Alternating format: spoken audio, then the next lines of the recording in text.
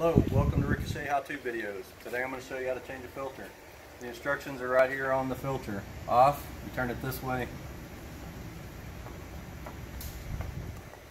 Make sure you have a bucket for your excess fuel.